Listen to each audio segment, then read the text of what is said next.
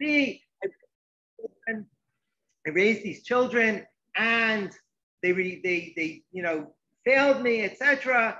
And this whole complaint about how Bnei Israel went wrong, that's the parent and child mashal. And there's a parallel mashal of the person who, the famous Shirat HaKerem, right, the, the poem of the vineyard, where Hashem says, I planted this wonderful vineyard, I did everything to make it grow well, and look how it turned out.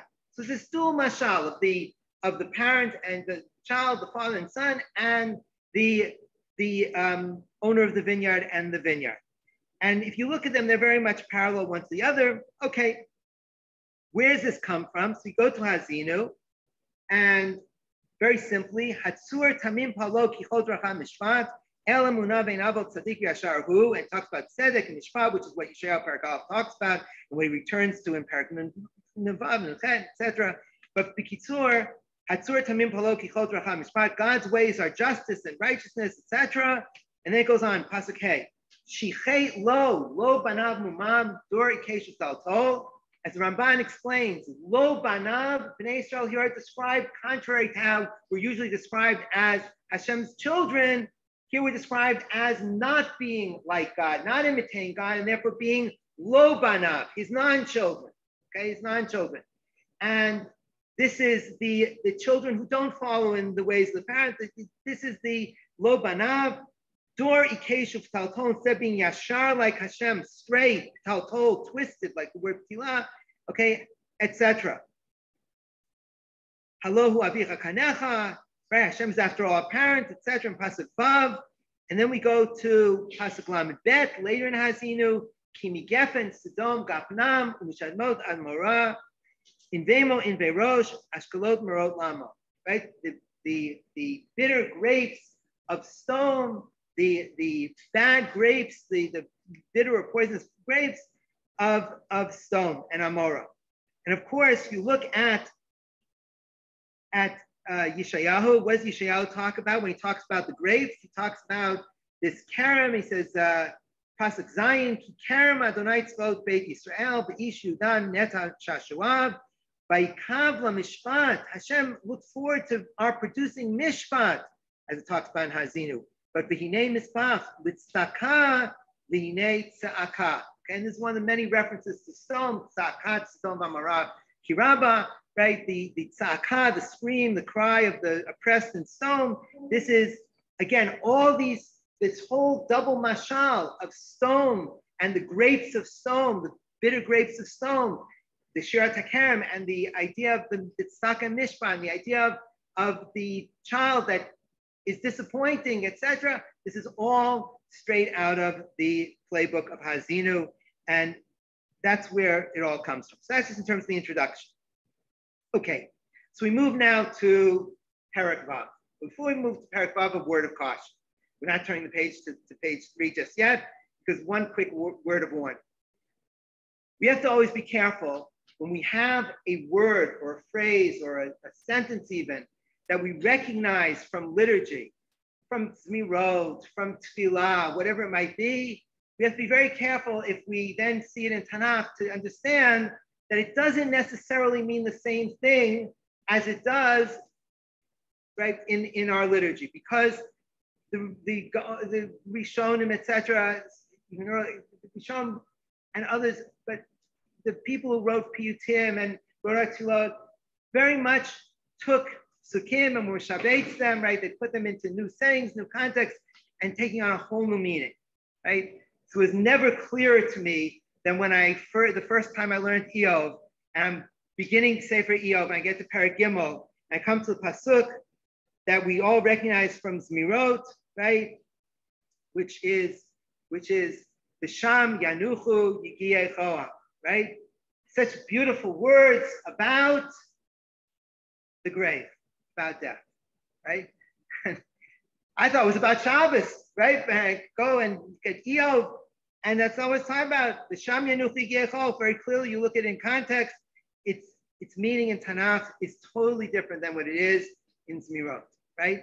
And that's a cautionary tale that we have to keep in mind. I say that because we're about to come to a pasuk that's very, very familiar, that we all are going to recognize immediately, but don't assume it means the same thing, or at least has the same emphasis I would say, as it does in Tefillah. Yeshayahu Perak Vav, okay, page three of the booklet. I know everyone looked at the booklet and said, four pages and it's such small print. How are we ever going to get through this? And don't worry, it'll be okay.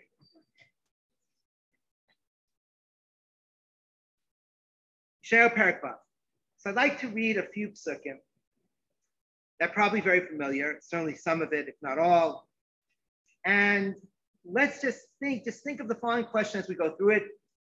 I'm going to ask everyone to please give me one word, just like to shout out one word, and when we finish reading through it, that summarizes this section. Okay, what the topic is, just the topic, not what it says about, just the topic. Yishulav Maleim et Hayachal. Serafim Omdim Mimalo. Sheish Knafayim, Sheish Knafayim Le'achad. V'shtayim Yichasef Anav, And here comes the key pasuk that I'm going to ask about in a moment, pasuk Yemo, pasuk that I'm sure we all know. V'kara ze el kadosh, kadosh, kadosh, Adonai tzvaot, muloch al aretz. We'll read one more pasuk and then we'll come back to pasuk Gimel. Vayanu amot hasipim mikol korei, babai imalei ashan.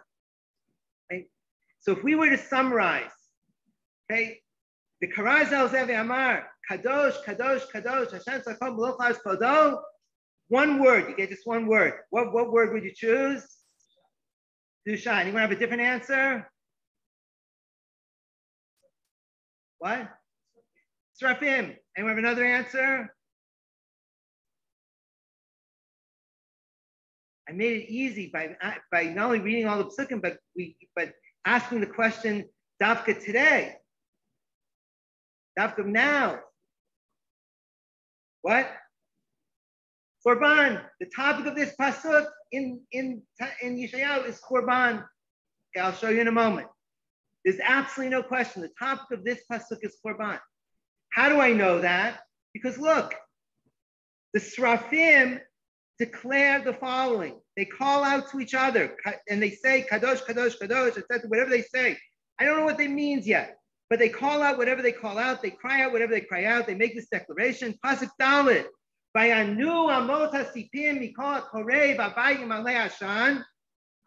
If God forbid a person is in a building, in a house, and the pillars of the house start to tremble, and it starts to fill with smoke. What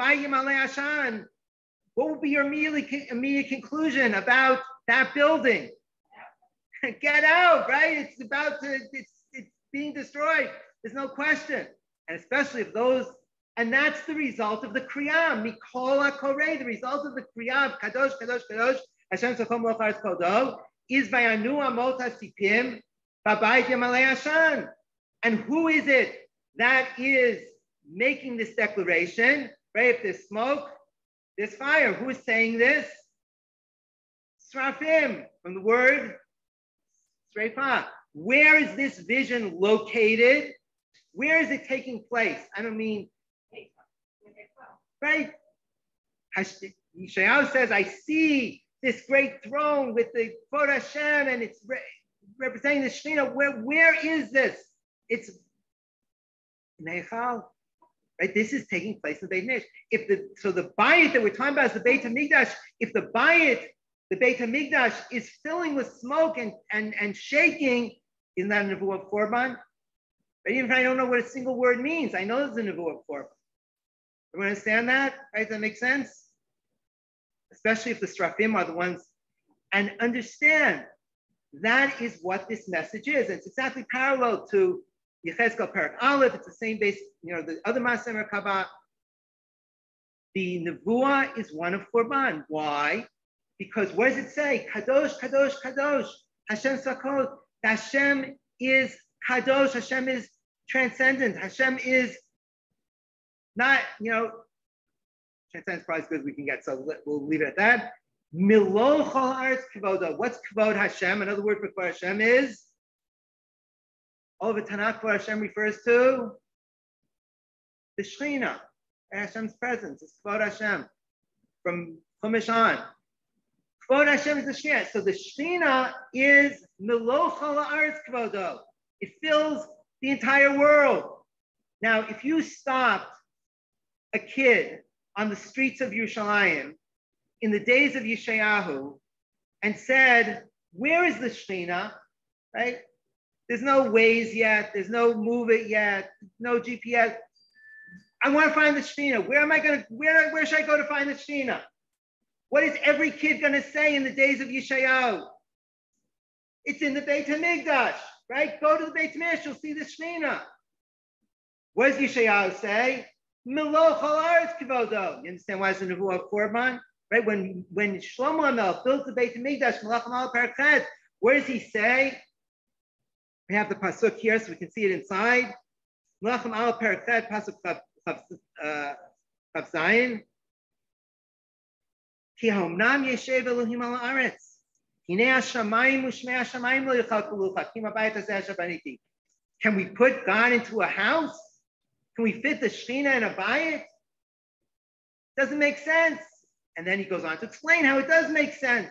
Right? And the Kusavi explains more that Shekhinat Mala, not Shekhinat Makom, and, we don't have to get involved in. But the point is that if the Beit Shemesh is functioning the way it's supposed to, so we have a Shachan B'tocham. Hashem's presence is amongst Bnei Israel because of what we do in the Beit Hamikdash.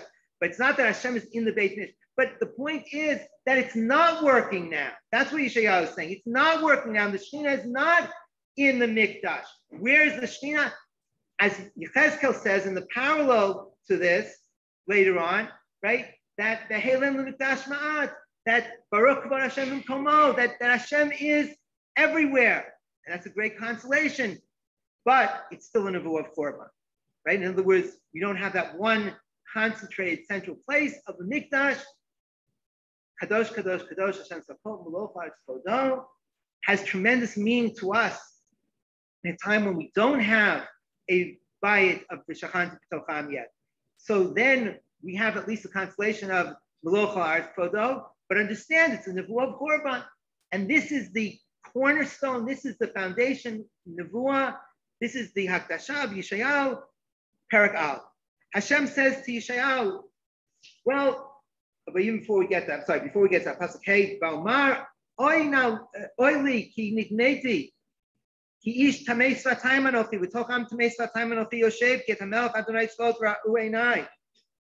So Yishayahu says, Oivei, vey, my lips are impure, and the, I'm amongst the nation that, you know, as we see how Yeshayahu is a microcosm of Bnei Israel, right? That he's Tmei Satayim, Bnei Israel is Tmei Satayim. And so Hashem says, okay, what's the solution? How is Bnei Israel, represented by Yeshayahu, going to be purified? So we read know, the words very carefully. Pasuk Rav, Vayaf Elai Achad Min HaSrafim, Uviado Ritzpa B'Makachayim Lakach Me'al HaMizbeach,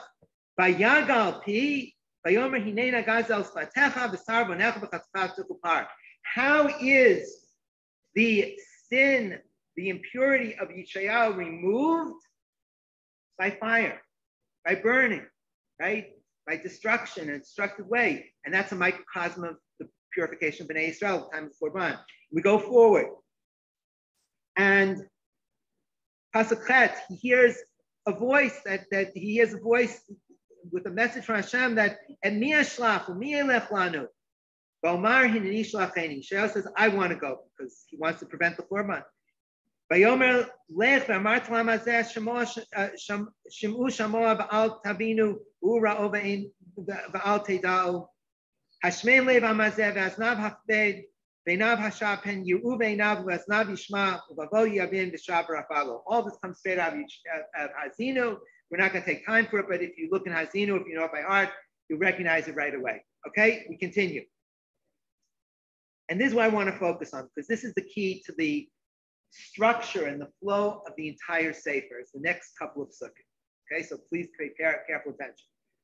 Omar, ad matai Adonai, So you're giving me this mission, says Yeshayahu, to deliver this message of Korban.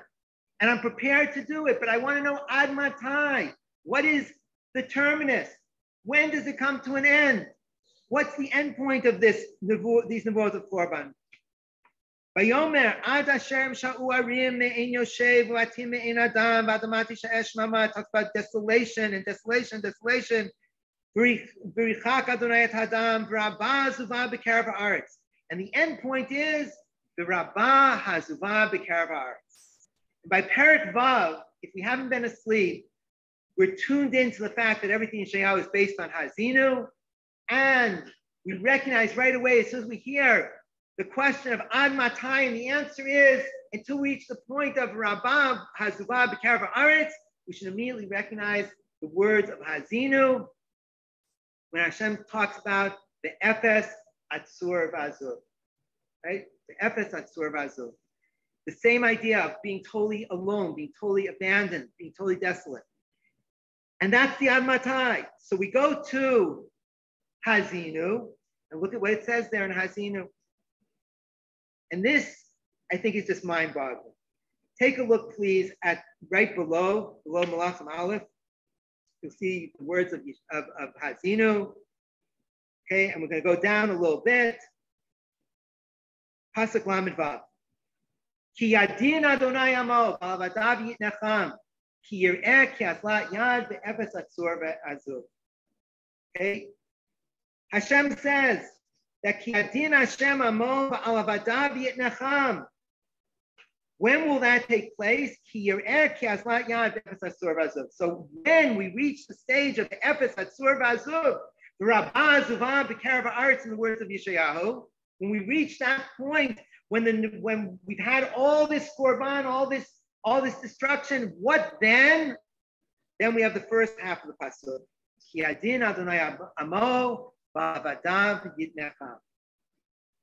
So if I only knew the first six chapters of Yeshayahu and no more, I'm reading it for the first time, chapter by chapter, and I get through chapter six, Parak and I read these sukkim and I understand where they're coming from, and I understand that's all based on Hazinu. I have to go back to Hazinu to understand it in context.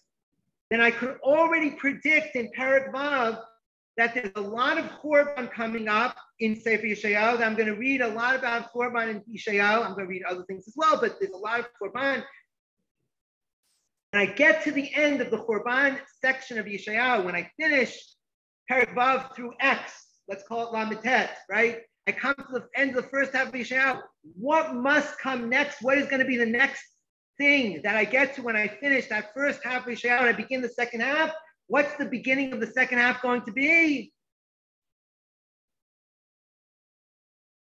Baal, Abadav, Necham. So what, what's, what's Parak Mem going to be? Nechama. In other words, Nachamu, Nachamu Ami, which is in fact Parak, Parak, Mem, which is the other foundation Parak, the other pillar of Sefer Yeshayahu, the, the foundation of the second half of the Sefer. But I want to say more than that. It's not just the the Nachamu Nachamu Ami, and that there's one Navu of Nechama after another in the second half of Yeshayahu, and that's most of the second half of Yeshayahu is all these Navuot of Nechama and Gula. But more than that, you look at Yeshayahu, and I'm giving just a few examples. There are more, but just a few examples. There is the greatest cluster anywhere in Tanakh. It's like half of all the examples in Tanakh. We know that Bnei Israel called many things in terms of our relationship to Akash Baruch Hu. One of them is Avdi, that we're called Hashem's Evan.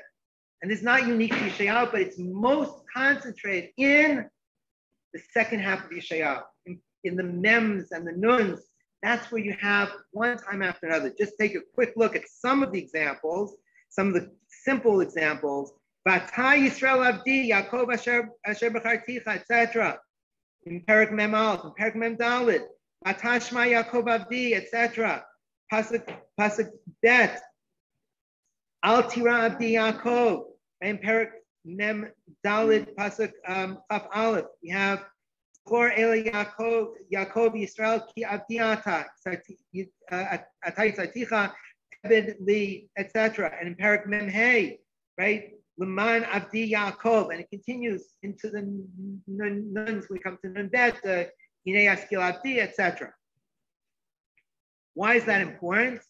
Because again, we go back to, to, to Hazinu, which is where Yeshaya is coming from.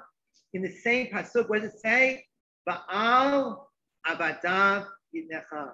And therefore, how Bnei Yisrael described Al Tira Avdi Yaakov, etc. Right? Hashem describes us as his Evan. Right? That's that's David Necha. So we have that full picture of um, Hazinu there. Okay, let's turn to the final page. Sorry. No, I did. Okay. So we have these part, oh, I'm sorry, can we go back to page three for just a moment? Sorry. I don't want to overly tax your patience, so I'm not going to go into some great detail, but I just want to show you that if you look very quickly at the two boxes next to each other, one next to the other, okay? Take a look at them, you'll see, and I highlight just a few examples. You can see one after another after another of the, the similarities in language between Parak Vav and Parak Mem. There's a very pointed contrast between these two nevuah. Okay, there's so many, so many examples. I'm going to go through them, and all except for one of them, except for one, and that is that towards the end of the parak, we come to a few very fascinating psukim. And please don't be choshed me of this particular example of it. Be of, of a lot of things, but the, I, I'm, I'm being, I think I'm being accurate. Number one, I understand that the words that we're about to look at are not etymologically related to the words in Parak. Okay, I know that. But it's what Chazal referred to in the Lam Bet Midot as Lashon Afal Lashon. It's not something that Rishona made up. So then it comes from Chazal in the Lam Bet Midot of Lesbin of Shor Yossi HaGlili, that the one methodology of Chazal is that there are plays on words in Tanakh, that there are associations made between similar sounding words, even though they're not etymologically connected. So number one, I know that they're not etymologically connected, uh, or I don't think they are in any case. I'm not assuming that they are, but but they are connected in terms of the point that Yeshayahu is making. Yeshayahu is a master of, of plays on words all over the place, from one end of the Sefer to the other, constantly. That's number one. Number two, that I think that I'm going to pronounce this correctly. Please be don't be fooled by the fact that some popular songs have it pronounced differently. Okay, so it's not same as in Tehillim, it's this is the way it is over here. So let's take a look. Pasuk Chafet and on. Okay, just a few psukim. Halo yadatim lo shamata lo heo lam Adonai borei ksot haaretz lo yi'af lo yi'ah in cheker l'tmunato notein layev koach le'eno nim atzmai yarbeh And here comes the word that's usually mispronounced. Ya'alu.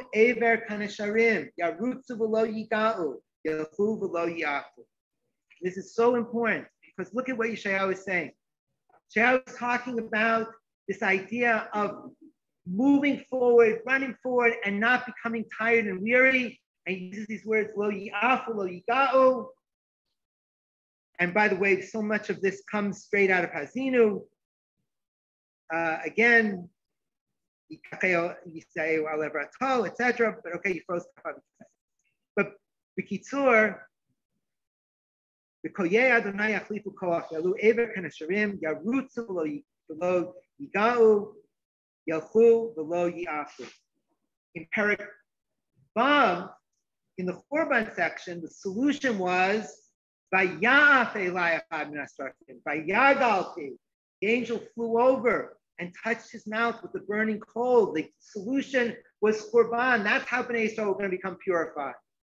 But by contrast, in Perak Mem, the solution comes through reinvigoration, through renewal, through a new beginning of, of Gula, of Nechama. That's what Perak Mem is about. And there's a very pointed contrast between the two that plays out over here. Okay, let's turn to the last page. Just very quickly, I want to just try to just bring everything together by a quick look at a few examples from Parak Samach Vav. There are many, many more examples within this Parak alone, but just in terms of Parak Samach Vav alone, it's really fascinating the way that this final chapter in Shayahu weaves the strands of the three sections of Yeshayahu together. Okay, section one, the introduction al through hey, section two, the Korban section of, of Vav through Lamitet, and number three, the Nechama section of Mem through Samach Vav. So take a look at this. It begins with Koamar Donai, Hashamayim kis'i va'aretz hadom raglai, a bayit asher tivnu ve'ez a makom menufati. It's a direct paraphrase of the Pasuk Malachim of Shlomo Melch, which is the basis for for um, for Perak. That's the first one. Okay, it returns to that and continues that in Pasuk Tet Vav. Ki hine Adonai ba'esh yavo b'sufav merkavotav lashiv lashiv b'chema apo v'garato v'lave esh. Right, the fire, the destruction to fire. That's the the um, Pasuk Tet Vav. So that's the the first strand, the Churban strand, the the strand of Perak Vav. In Pasuk Vav, Pasuk Vav, Kol Sham Meir Kol Mechal Kol Adonai Meshalem Mul. I'm sorry, it's not possible. Mul Okay, that's part of so the of the Churban one. But Yud Gimel, Ki Ish Asher Imot Tinachamenu Kain Anochi Anachamchem Yerushalayim Tinachamu. This is of course right the Nachamu Nachamu Ami, Parak Mem. We go a little bit further, and Pasuk Chav Gimel, one of the most beautiful psukim in a sefer that is entirely uh, consistent of uh, beautiful psukim. והיה מדי חודש בחודשו, מדי שבת בשבתו, יבוא כל בשר ושתחבוא בפניי, אמר אדוני. Hashem says, on Shabbos, on Rosh Chodesh, we are, Bnei Israel are going to come to my to, to the Beit Hamikdash to, to, to see me, etc., says Hashem. This is such a pointed contrast, of course, to what it says in Parak Aleph, where it says in Pasuk Bet, Kitavo le'ra'ot panai mitikeso mi'etchem ramos chatzerai, lo tosifu abim min chatshav kitoret toivai chodesh v'shabbat kro mikra lo uchal avim batzara. V'chechem madechem san anafshi hayu alai l'torah mil 18 so. In place of Hashem saying that, who asked you to come and trample my courtyards of the Beit Mikdash? Who wants you here? I don't want, I despise your Rosh Chodesh and your Shabbat and your Yom Tov. Instead, והיה מדי חודש בחודשו ומדי שבת בשבתו יבוא כל בשר וישתחוו בפניי אמר אדוני. Say, main ratan, that uh, that's indeed where we continue to go. Um, I want to again thank you all for joining and for uh, coming to close um, the, the Friedman and, and I want to again thank family for the opportunity and the pleasure of being able to learn together. If there are any questions or rebuttals or whatever the case may be, uh, I'll try to stick around for a few more moments. I want to uh, impose on my kind host for the ride, but uh, a couple minutes quickly there is. Okay, so I was either very clear or totally incomprehensible. But we'll hope for the former. Por esto.